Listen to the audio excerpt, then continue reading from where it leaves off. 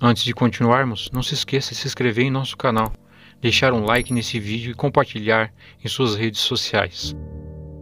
Muito breve voltará meu rei, o céu ele encherá. Remido o universo então, a sua luz verá.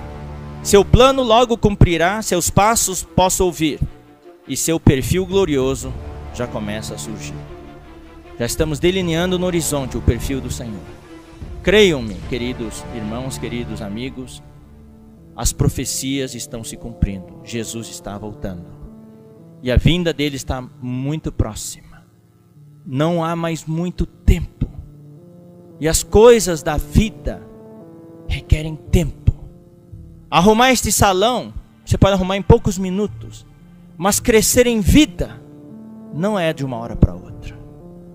O nenê nasce hoje, não é amanhã que ele vai ser um homem maduro. Leva tempo. Estrofe 2: Seu rosto amado anelo aqui, não ouso relaxar. Enquanto o espero vir e então o contemplar, aquele em quem por fé eu crio, espero logo ver. Na terra gozo igual não há, tão pouco igual prazer. Você que já é cristão, você ama Jesus Cristo? Você ama a vinda dele? Tem uma diferença entre amar Jesus e amar a vinda dele. Digamos que minha esposa saiu para viajar. E ela entregou a casa para mim. Ela falou: Eu vou visitar meus pais, que moram. Os pais dela moram nos Estados Unidos. E eu, por causa do meu trabalho, não, não posso ir. Daí ela vai e disse: Já volto em um mês. Tá? Então, comprei as passagens para ela, ela foi. Digamos que eu fiquei relaxado naquele mês. Daí, faltava, digamos que falta mas, uns três dias para ela voltar. E a louça na cozinha está empilhada até o teto. Tá certo? E a roupa suja no banheiro já tá, ocupa mais da metade do banheiro. Tá certo? E a casa tá uma bagunça e tá sujo. Então, daí ela me liga, dois dias antes de voltar. Querido, estou voltando. Daí sabe o que eu vou responder? Oh, querido, eu te amo. Você não quer ficar uma semana a mais, não? Apesar de amá-la, eu não amo a vinda dela porque a casa dá uma bagunça. Eu não quero ver ela, que ela veja a casa daquele jeito. Você pode amar a vinda do Senhor, mas você e eu estamos prontos para que Jesus volte agora nesse instante? Uma pessoa que ama a vinda do Senhor, toda manhã quando acorda, espera a vinda do Senhor para aquele dia, para aquele momento. Ele está preparado. Então, você anela ver o Senhor ou você quer primeiro experimentar o carro novo que você comprou? Estrofe 3: Com ele está meu coração, o céu irei fitar nos lábios uma expressão, o quero encontrar. Quão perto está o regresso seu, por mim retornará, fiéis promessas que nos deu, muito breve cumprirá. Do teu falar, ó Salvador, jamais vou duvidar, é sempre encorajador, fiel me faz andar. Faz tua glória enfim surgir, o mal vem derrotar, promessas tuas já cumprir, ao trono nos levar. Nem mãos, nem olhos mil jamais me poderão deter. Espinhos Vão me desanimar? Vão me fazer desistir?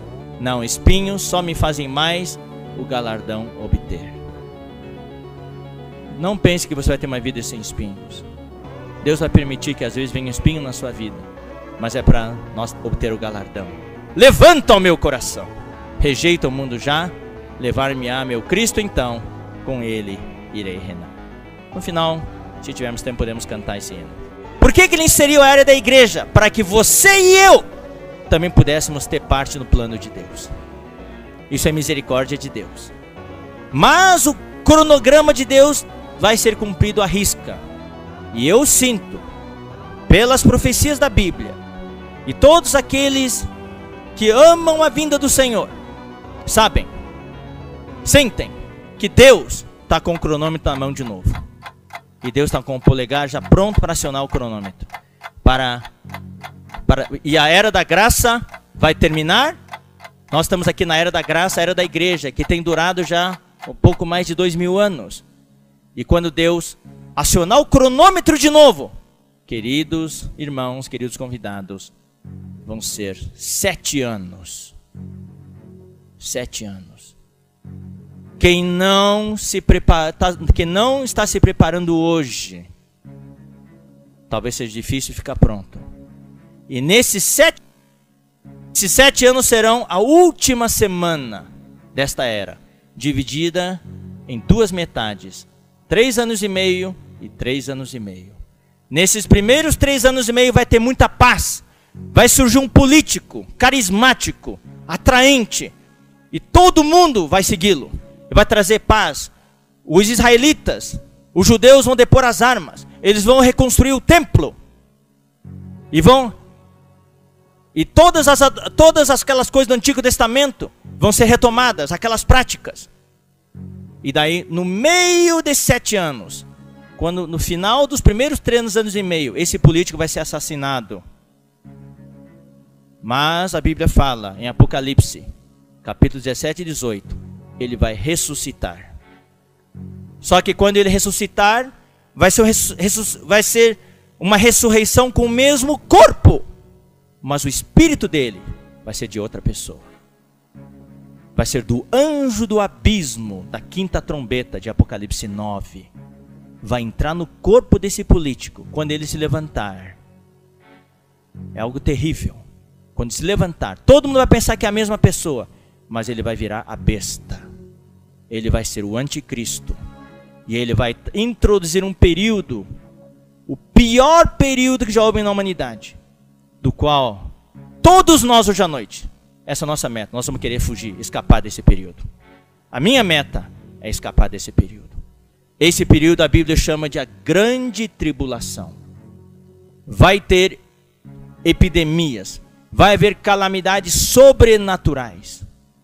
O céu vai escurecer, o sol vai perder a sua claridade. Um terço das águas no mundo vão ser contaminadas, não vai ser água potável mais. Um terço das árvores vão ser queimadas. Os astros vão cair dos céus. Vai ter choque, choque de cometas e de asteroides com a Terra. Os vulcões vão entrar em erupção. Vai tapar o sol. O mundo vai ficar um lugar inabitável. E a Bíblia fala que a morte vai fugir das pessoas. Hoje as pessoas fogem da morte e a morte corre atrás das pessoas. Naquele dia as pessoas vão querer morrer, mas a morte vai fugir das pessoas. As pessoas não vão conseguir morrer. Isso se chama grande tribulação. E nesse período, o anticristo vai reinar. E ele vai matar muitos crentes que ficarem. E vai matar muitos judeus. Outro livro que fala da vinda do Senhor, da vinda de Cristo, é Mateus 24 e 25, com profecias a respeito dos judeus. Especialmente no tempo da grande tribulação, Cristo irá tomar o templo que foi reedificado e vai colocar lá a imagem da besta. E essa imagem da besta vai ser promovida pelo falso profeta. Vai falar dos crentes. Ele quer dizer, Mateus 24, 25 fala dos crentes. Especialmente Mateus 25. Fala da parábola das dez virgens. As dez virgens, todas elas estão esperando o noivo. Quer dizer que todas elas são crentes. São cristãs, são evangélicas. E estão esperando Deus voltar esperando Jesus voltar, esperando o noivo voltar. Mas cinco eram prudentes, cinco nécias. Resumindo, cinco tinham azeite nas suas vasilhas e cinco não tinham. O azeite representa o Espírito Santo e as vasilhas representam a nossa alma. Quem tinha azeite nas vasilhas são as pessoas que todos os dias se enchem do Espírito Santo. Até quando o Senhor Jesus voltar, quando o noivo voltar, o que, que aconteceu? A lâmpada das nécias estava se apagando e elas não puderam entrar nas bodas do cordeiro. Elas tiveram que sair para comprar azeite, mas quando voltaram as portas já estavam fechadas. Isso mostra que não é suficiente ser evangélico, não é suficiente ser crente, ser cristão. Você precisa ter azeite nas suas vasilhas. Isso pouca gente fala hoje. Hoje à noite, no amor do Senhor, nós queremos falar para você. Verifique quanto azeite tem na sua vasilha. Eu vou te dar alguns sintomas. Você briga bastante em casa com sua esposa, com seu marido? Isso é um sintoma que é pouco azeite. O motor, quando não tem óleo, funde o motor. Começa a aparecer todos, toda sorte de ruídos. Você está sempre nervoso? Você tem pavio curto? Você se preocupa demais, está ansioso? Tudo isso mostra falta. Você não tem interesse pelas coisas de Deus? Isso mostra falta de azeite. E quem mais? Fala também da parábola dos talentos. Aquele que recebeu cinco talentos, um que recebeu dois, outro que recebeu um talento. Quem tinha cinco talentos, multiplicou, ganhou outros cinco. Quem tinha dois, ganhou outros dois. Mas quem tinha um, não ganhou. Enterrou o talento. Isso mostra o nosso serviço a Deus. Aqui em Mateus 25 fala do nosso julgamento. Que o critério do julgamento vai ser, primeiro, quanto você cresceu em vida. Quanto você amadureceu na vida divina, na vida de Deus. Quanto você tem do Espírito Santo. Segundo, quanto você serviu a Deus. Você prega o evangelho, você se preocupa com a salvação dos seus amigos, dos seus familiares, dos seus vizinhos. Você serve a Deus ou você está contente em ser salvo você mesmo? Tudo isso está aqui em Mateus capítulo 25.